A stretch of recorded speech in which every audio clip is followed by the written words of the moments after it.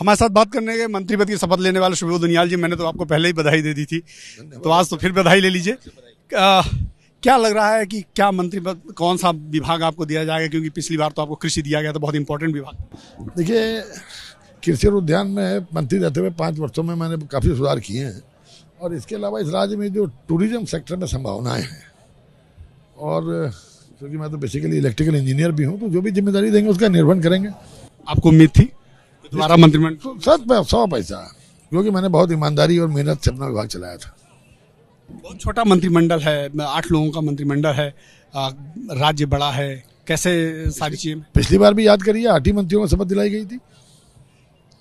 सरकार कैसी चलेगी? कहीं कहीं पिछली बार की तरह तो नहीं होगा कि फिर से चार साल में मंत्री चेंज मुख्यमंत्री चेंज ऐसा नहीं ऐसा नहीं होगा। मुझे पूरा विश्वास है कि युवा नेतृत्व जो धामी जी का है ये पाँच साल तक हमारी सरकार चलेगी पूरी। हमारे साथ बात करेंगे गणेश जोशी जी। गणेश जी पहले तो आपको बहुत बहुत बधाई मंत्री बनने की।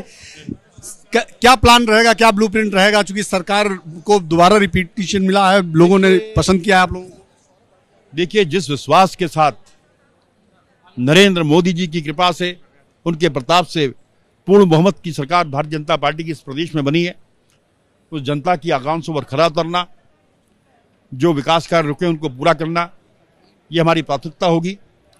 और सैनिक कल्याण मंत्री होने के नाते मेरी अहम ज़िम्मेदारी है कि मोदी जी की परिकल्पना और मेरा ड्रीम प्रोजेक्ट सैन्य धाम, जिसका भूमि पूजन राजनाथ सिंह जी ने किया था 2024 से पहले हम उसको पूरा करेंगे।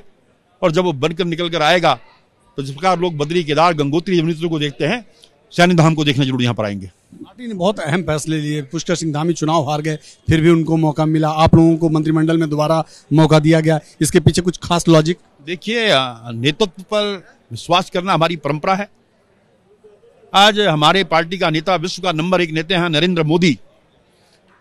और उन्होंने कोई फैसला लिया होगा कुछ सोच समझ कर लिया होगा। उन्होंने पुष्कर सिंह धामी जी के अंदर कोई क्षमता देखी होंगी। आज एक बार फिर मौका दिया है।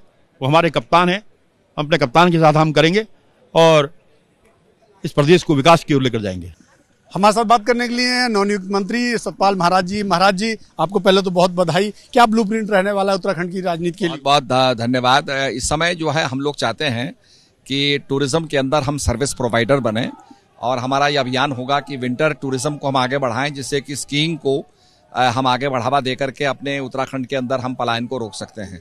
समर टूरिज़्म और विंटर टूरिज़्म धार्मिक टूरिज़्म को हमें आगे बढ़ाना है और अपने स्टेट को सर्विस प्रोवाइडर बनाना है। लोग पिछली बार की तरह इसी तरह इस, इस विकास की रथ को आगे बढ़ा पाएँगे? आगे बढ़ाएँगे निश्चित रूप में बढ़ाएँगे और धरातल पर जो है हमारा जो दृष्टि पत्र है उसको चरितार्थ करेंगे। कैमरन कपिल के साथ नीरज पांडे बीपी न्यूज़ देहरादून।